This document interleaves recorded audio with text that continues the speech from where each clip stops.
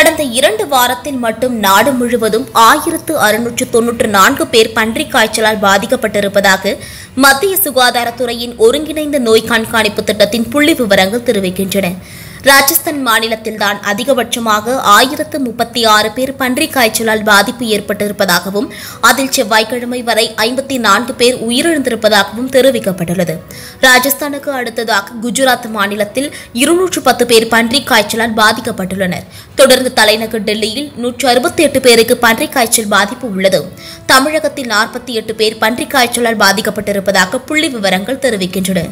பன்றி காய்ச்சலால் பாதிக்கப்பட்டவர்களின் எண்ணிக்கை கடந்த இரண்டு இரண்டு ஆண்டுகளாக குறைந்து வருவதாக மத்திய சுகாதாரத்துறை தெரிவித்துள்ளது.